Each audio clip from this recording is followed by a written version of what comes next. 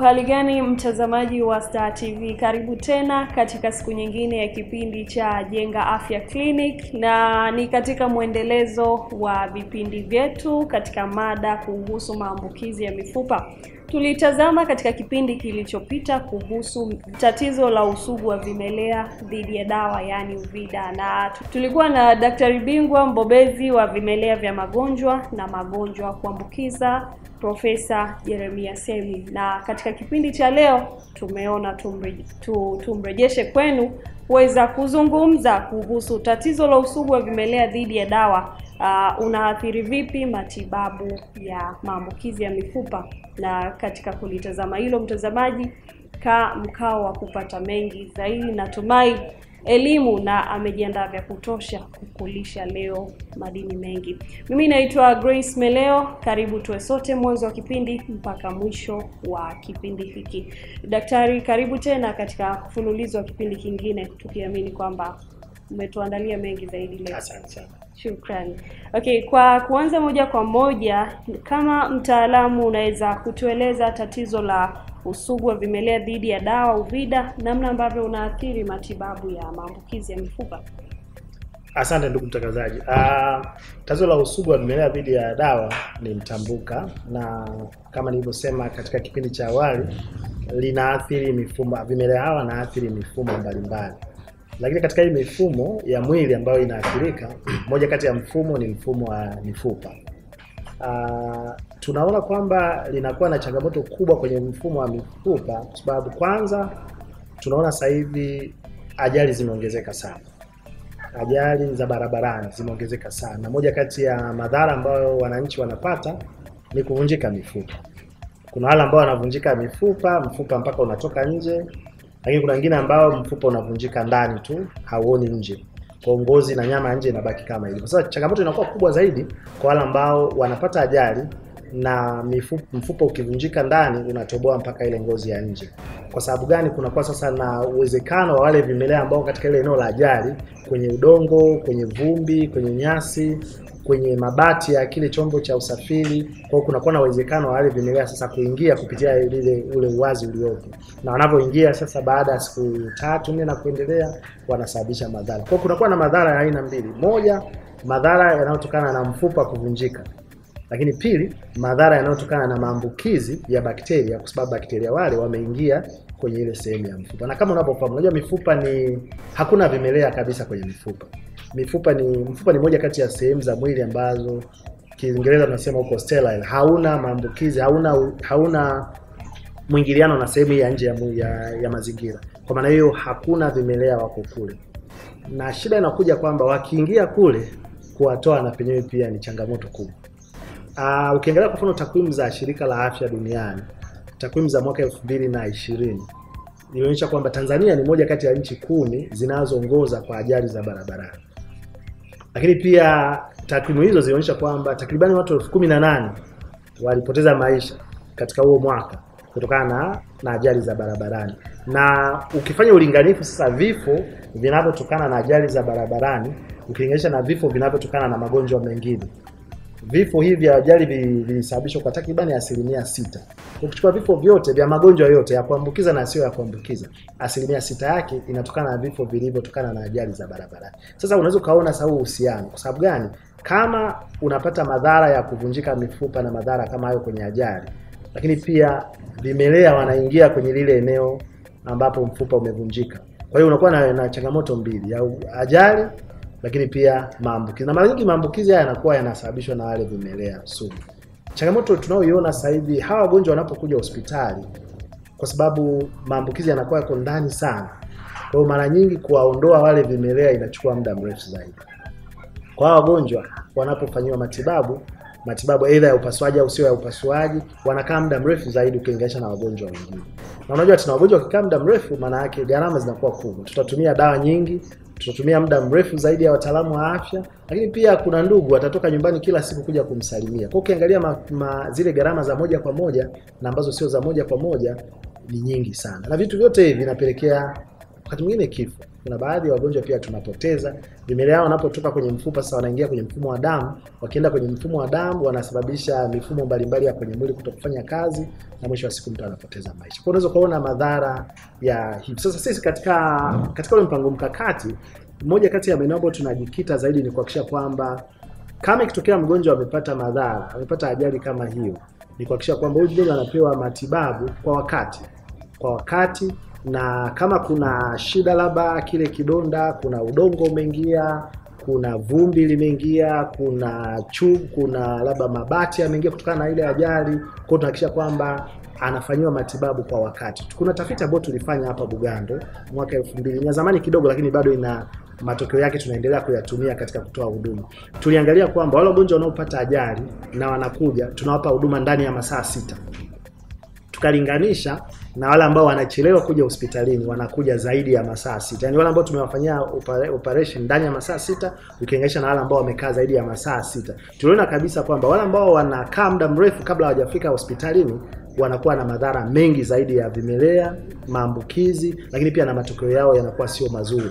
Tuliona kwa mfano ukilinganisha muda wa siku, hao wengine wanaweza kama ugu, kama ma, kama kama tatizo sio kubwa sana, anaweza akakaa mpaka siku tano akaruhusiwa kwenda nyumbani, amefungwa labda muhogo au amewekewa vile vyuma vya kumsupport. Lakini hili kundi jingine tuliona wanakaa kuanzia wiki mpaka miezi ndani ya hospitali. Lakini pia tulivyolinganisha maambukizi kwenye haya makundi mawili, wale ambao tumewapa huduma ndani ya masaa sita waliwahi kufika hospitalini ndani ya masaa sita tuli tumeona kwamba kulikuwa na uwezekano mdogo wa kupata maambukizi ukilinganisha na wale ambao walikaa kwa muda kwa muda. Waliokaa kuanzia masaa sita ndo wakaja hospitali kwa ajili ya kupata huduma. Kwa unaweza kuona madhara makubwa, na tunao bakteria aina wawili ambao tumeona wanasababisha madhara zaidi. Kuna bakteria mmoja anaitwa Staphylococcus aureus. Huyu anasababisha madhara kwa sababu katika hali ya kawaida huyu bakteria yuko kwenye ngozi zetu juu. Kwa kama kuna chochote kinafanya, aidha unachoma na mwiba, unachoma na chupa, unachoma na kitu, umepata ajali. Kwa hiyo yeye anaishi kwenye ngozi, sio watu wale watu wengi watunaye kwenye ngozi. Kwa hiyo akipata sehemu ya kuingia, akiingia tu ndani sasa ya sehemu iliyopasuka au chanika au mfupa, maanake anasababisha madhara makubwa, kwa sababu ametoka kwenye sehemu yake asili ameenda kwenye sehemu ambayo sio ya asili. Lakini kuna mdudu mwingine tunamuita Pseudomonas aeruginosa. Huyu ni mdudu ambaye kwa kawaida ni mdudu ambaye ni sugu na ni gumu sana kumtibu. Huyu katika hali ya kawaida anapatikana kwenye maeneo ya vumbi na mazingira. Kwa kama mtu anapopata ajali, kunakuwa na uwezekano kwenye vumbi, kwenye mazingira kama yale, huyu mdudu kuingia ndani. Kwa hao ni bakteria wawili ambao kwa kweli wanatuletea changamoto kubwa sana za matibabu. Nitoe mfano rahisi. Kwa mfano, yule mdudu wa kwanza niliyemsema, katika hali ya kawaida asip, kama sio sugu, unaweza ukamtibu kwa dawa ambayo gharama yake kwa dozi nzima ya siku tano inaweza kuwa labda shilingi elfu kumi mgonjwa anapona kabisa. Lakini huyu bakteria akishakuwa sugu, utahitajika kutumia dawa nyingine ambayo ni gharama yake inaweza kwenda mpaka laki sita laki saba kwa siku hizo hizo tano mpaka kumi. Kwa unaweza ukaona, ndio maana tunapambana sasa kwamba kama mgonjwa anapata ajali, tunawashauri wananchi huyu mgonjwa afike haraka hospitali, kwa sababu tumeonyesha kwa tafiti kabisa, tukimtibu ndani ya masaa sita atakaa muda mfupi hospitalini tutampa dawa ambazo ni thabiti. Kama ni upasuaji atafanyiwa kwa wakati na ataondoka kwa wakati, lakini akichelewa, tumeonyesha clearly kabisa kwamba madhara yake ni makubwa sana. Lakini pia tunawashauri wananchi kwamba hii swala la muda ni muhimu sana, kwa sababu tunaona sasa hivi kuna changamoto ya watu kupitia maeneo mengine, anapata ajali anaenda kwa wale wanaosema wanasi, wana, wanapanga sijui mifupa na nini. Changamoto ndio hiyo kwamba atakwenda kule atachelewa na kama nilivyosema, kama amevunjika mfupa na mfupa ukawa umetokeza mpaka nje, kuna uwazi, kuna kidonda, hiyo ndio eneo ambayo ni kama mlango wale bakteria kuingia ndani. Kwa wanaingia kwenye nyama, wanaenda ndani kwenye mfupa, na ukiingia bakteria atakapoingia kwenye mfupa, kama nilivyosema, matibabu yake ni magumu sana. Kwa hiyo tunawashauri wananchi pia kwamba kama mtu anapata ajali, jambo la kwanza waje hospitalini mapema. Wakija ndani ya masaa sita, kama ni karibu ndani ya saa moja ndani ya masaa matatu kutegemea na umbali, mwingine anatoka mbali, lakini tunachosema ni kwamba akija kwa wakati hospitali, tutampa matibabu ambayo ni thabiti, na yale madhara yatokanayo na kuvunjika, madhara yatokanayo na vimelea na hasa hasa vimelea sugu, tunakuwa tumeyadhibiti kama ambavyo tafiti zetu tulivyo tulivyoonyesha. Okay, na kwa namna nyingine, kama unaweza kuelezea kuhusu uhusiano uliopo wa tatizo la uvida pamoja na maambukizi ya mifupa. Ndio, kama nilivyosema, nimesema wale bakteria wawili ambao wanasababisha zaidi, huyu mmoja ambaye yuko kwenye ngozi yetu na huyu mwingine ambaye anapatikana kwenye mazingira. Sasa wale vimelea, kwa tafiti ambazo tunaendelea kuzifanya sasa hivi, usugu unaongezeka kama nilivyosema kile kipindi kilichopita kwamba bakteria wenyewe wanatafuta njia za kuendelea kuishi, na wenyewe ni viumbe. Kwa hiyo sisi tunapopambana nao kwa madawa, na wao wanatafuta njia za kujikinga na zile dawa, ndo hapo sasa wanapotengeneza usugu, wanabadilisha vinasaba vyao, wanabadilisha zile cells zao, na mwisho wa siku wanapata. Sasa uhusiano upo, kwa sababu kama mgonjwa atapata maambukizi ndani ya mifupa na akapata maambukizi ya vimelea ambao ni sugu maanake ni kwamba inabidi afanyiwe matibabu thabiti kutokana na vipimo vya maabara.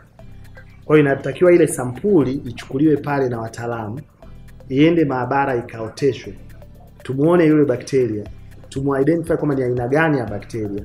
Yule bakteria tumpime kwa dawa mbalimbali. Mara nyingi tunapima dawa nane mpaka kumi, na katika zile nane mpaka kumi tunasema katika hizi dawa kumi zinazo zinazotibu vizuri ni hizi na ambazo hazitibu ni hizi. Kwa hiyo kuna umuhimu, kwa sababu usipofanya hivyo, maanake ni kwamba huyu mgonjwa ataendelea kutibiwa na dawa ambazo inawezekana hazihusiani hazi na yule kimelea aliyopo.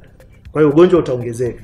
Ilikuwa ni mfupa, baada ya siku mbili utaona kidonda kinaongezeka, unaweza ukaona usaha unazidi kuwa mwingi, ile sehemu inabadilika rangi. Ilikuwa ni chini, inaanza kupanda juu wale vimelea watatoka kwenye ile eneo wataendea kwenye damu na madhara yatakuwa makubwa zaidi. Kwa sisi tuna tunaunganisha yote hayo kwamba ni vyema wagonjwa hawa kuwahi hospitalini ili wafanyiwe uchunguzi thabiti, wapate matibabu thabiti, na ukishafanya vyote hivyo utahakikisha kwamba yale madhara yanayotokana na, na, na vitu kama hivi haya haya haya. Kwa eneo kubwa la wagonjwa hawa ni wale wanaotokana na ajali, lakini pia kuna kuna wengine wanaotokana na magonjwa mengine. Tunao wazee tunao wazee ambao wana zaidi ya miaka kwa mfano 60 na kuendelea. Kuna mabadiliko ambayo tunayo binadamu katika mifupa. Unavyozidi kuwa mzee, ule ule uhimilivu wa mifupa yako ina unakuwa unapungua. Kwa unaweza ukashangaa akakanyaga ngazi, mguu katikisika, akavunja nyonga ikafyatuka, au mguu mfupa mkubwa wa mguu ukavunjika. Sasa mara nyingi hawa kwa sababu kunakuwa hakuna u, ule kunakuwa hakuna uhusiano kati ya mazingira na mfupa. Kwa mara nyingi hawa mara nyingi hawapati sana maambukizi hayo, lakini ikitokea labda ule mfupa sasa umechungulia umetoka nje, kwa kuna uwezekano pia na wao wakaathirika. Tunao pia watoto ambao kwa mfano wana sickle cell.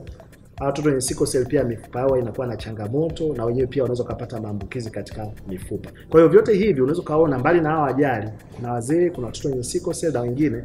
Ukipa uki, mgonjwa anapokuja hospitalini, madaktari watajua kwamba chanzo ni hiki na na athari iliyopo ni hii, matibabu ni haya na hizi hizi ndio njia thabiti za kujikinga. Kwao tunawashauri watu bado kuendelea kutumia huduma za hospitali pale pindi wanapokuwa na magonjwa haya mbalimbali.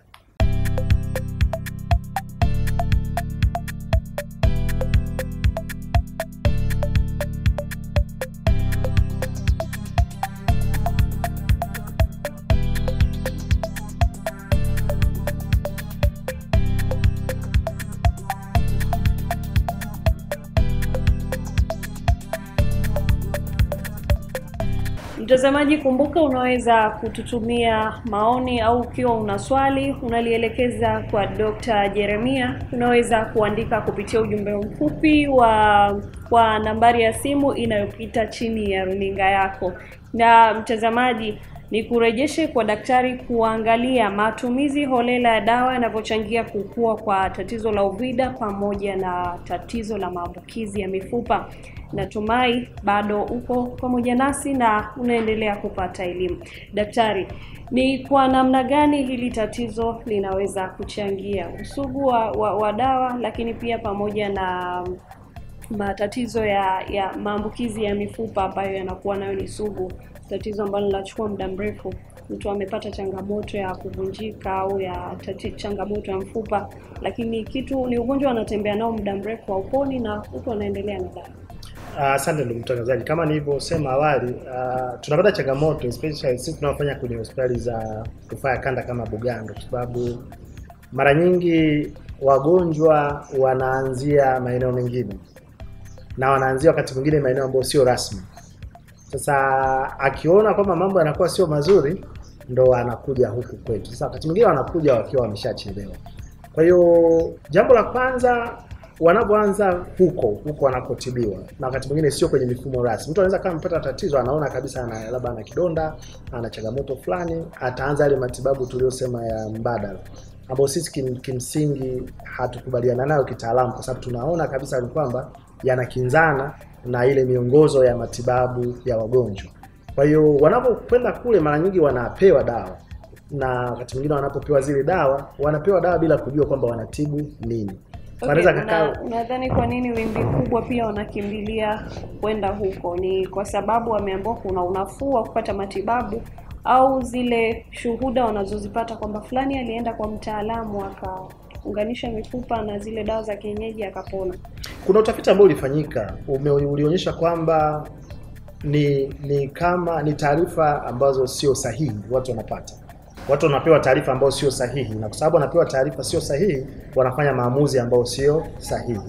Utafiti uliangalia ukaonyesha kabisa kwamba wanapokwenda kule wakienda kutoka wanakuwa na mtazamo tofauti kabisa na wengi wana, wanajuta kwamba kwa nini walianzia walianzia. Kwao nadhani swala la kuongeza uelewa kwa wananchi ni muhimu kuliko kitu kingine chochote, kwa sababu wanapokwenda kule wanachelewa, na ugonjwa ulikuwa ni mdogo, kidonda kitakuwa kikubwa, mfupa ulikuwa huku kidogo, nyama zinaanza kumwagika sasa, yani kidonda kinaoza, anagundua sasa kwamba amekosea, aje huku. Sasa wakati anakuja huku tayari inakuwa ni ugonjwa umeenda mbali. Sasa wakati akiwa kule pia, wakati mwingine wanatumia dawa anatumia dawa hizi za antibiotiki. Sasa kwa sababu anatumia dawa bila kujua kwamba anatibu nini, wale vimelea wana tabia moja, unatakiwa umpe dawa kwa dozi maalum kwa muda, kwanza aina ya dawa maalum kwa ile kimelea, dozi inatakiwa maalum na kwa muda maalum. Kwa hiyo ukikosea hili moja hapo, ni kwamba yule kimelea utampa dozi ambayo sio inayotakiwa, kwa kama vile umemwonjesha kidogo, na yeye ukimwonjesha kidogo hata kufa atakachokifanya atabadilisha vinasaba vyake na kubadilika kabisa na kuwa sugu kwenye ile dawa.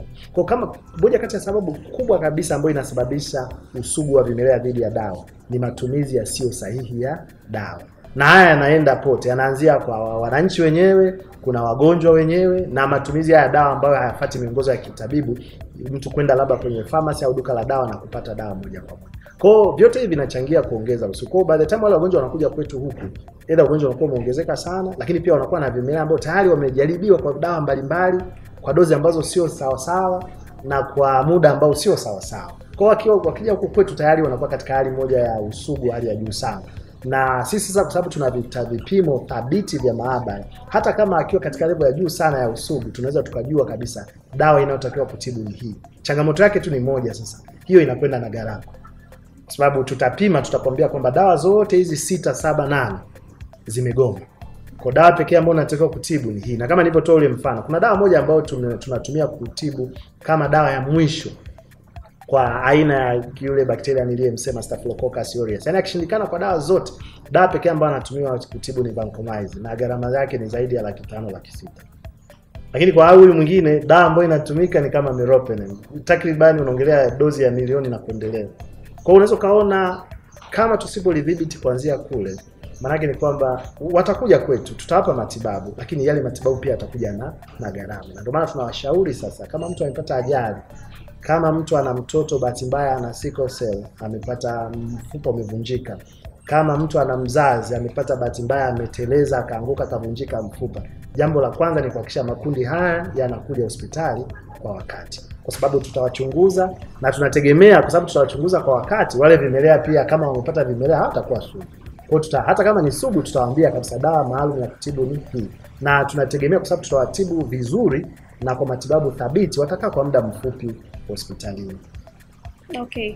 Na mwisho kabisa katika kumalizia mada yetu ya siku ya hii leo, ni kwa namna gani jamii inaweza kuzuia uvida wa wagonjwa wenye maambukizi ya muda mrefu katika mifupa yanayosababishwa na vimelea sugu?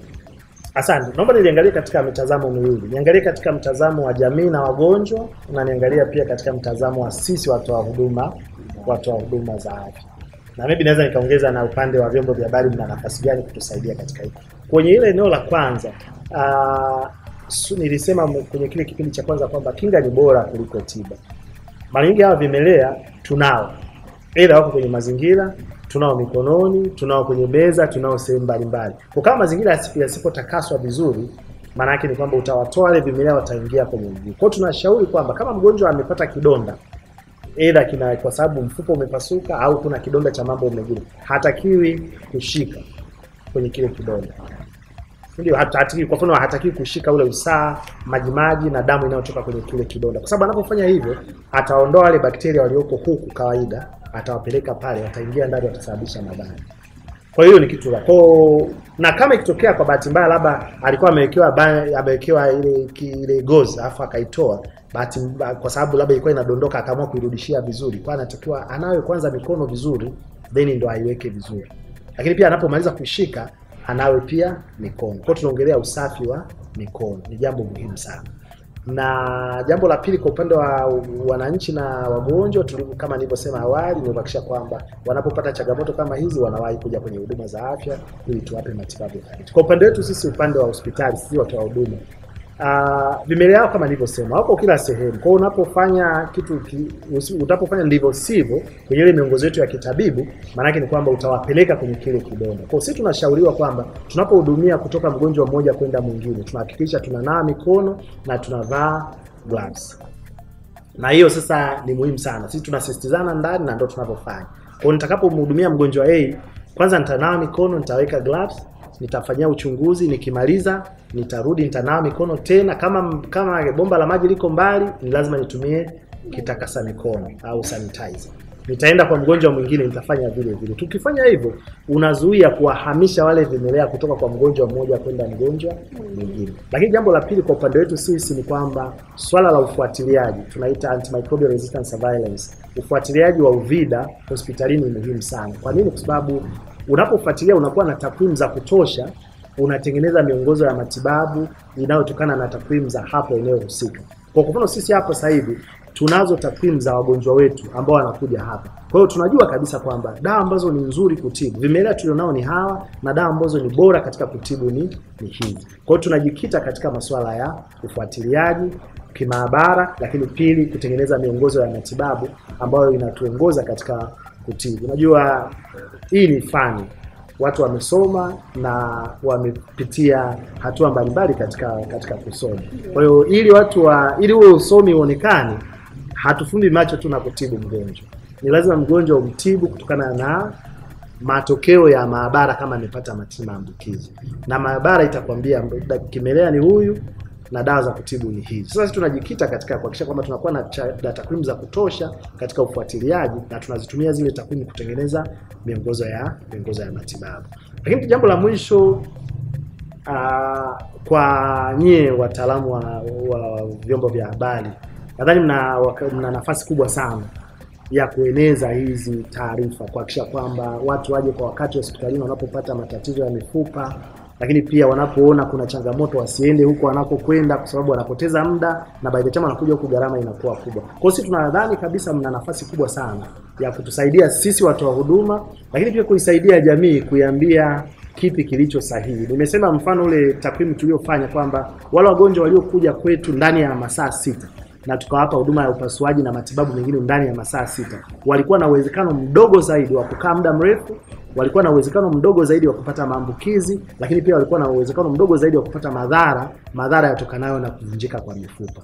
Kwa hiyo unaweza ukaona kabisa kwamba mkitusaidia na wananchi wakielewa, basi inawezekana tuka- huduma bora na tukaendelea tukaendeleza nguvu kazi ya taifa. Unafahamu wagonjwa wengi wanaoathirika kwa mfano na ajali ni ile ni kati ya miaka ishirini mpaka arobaini na wengi ni wanaume. Na nguvu kazi wa ya taifa. taifa. Kwa hiyo unaweza ukaangalia, ukiangalia katika mlango mwingine, tunapambana ili tuwe na jamii ambayo ina afya ambayo itakwenda sasa kujenga uchumi uchumi wa nchi yetu, na kinyume chake ni sahihi. Tusipofanya maanake tutapoteza jamii ambayo inatakiwa ijenge uchumi wa nchi ya Tanzania. Naamini kwa kwa pamoja sote tukishirikiana, elimu itafika kwa marefu na mapana, na tunaweza kusaidia kukabili tatizo hilo. Ni kweli kabisa. Ni kushukuru sana Daktari Profesa Jeremia Seni. Asante sana. Karibu sana wakati mwingine tutakapokuhitaji. Tunawashukuru sana kwa ajili ya kutupa nafasi ya kuelimisha jamii. Shukrani. Asante. Mara nyingi hawa wagonjwa wenye changamoto ya maambukizi kwenye mifupa huwa vidonda vyao vinakuwa viko wazi. Hili ni kundi ambalo wagonjwa wamechelewa kuja hospitali. unakuta wanazunguka tu labda kwa waganga wa kienyeji, wanazunguka tu, wananunua madawa hospitalini, wananunua madawa kwenye mafamasi, awatibu lile tatizo, wanaipa nafasi tatizo kuendelea kukua. Kwa kuondoa usugu katika mgonjwa wetu, ni lazima tuhakikishe mgonjwa tunampatia dawa kwa wakati. Kuna wagonjwa wanakuja naambia, dokta, nimepewa madawa ya madripu, nimepewa kila baada ya masaa sita, lakini pana jipu, pana usaha ndani ya mfupa. Baada ya kufanya vipimo vyote kwa maana ya x-ray, kufanya vipimo vyote kwa maana ya vipimo vya damu, sehemu kubwa ya matibabu kwao ni upasuaji. Endapo mgonjwa wakati wa operation au kabla ya operation akahitaji damu, lazima apate damu ambayo itakuwa kundi sawa na la kwake. Utaona kama hospitali ya Bugando tumeanza sasa operation hizi za kurefusha mifupa. Kwa hiyo mfupa unakuwa mfupi, kuna operation, tuna mfumo maalum tunaita Ilizarov.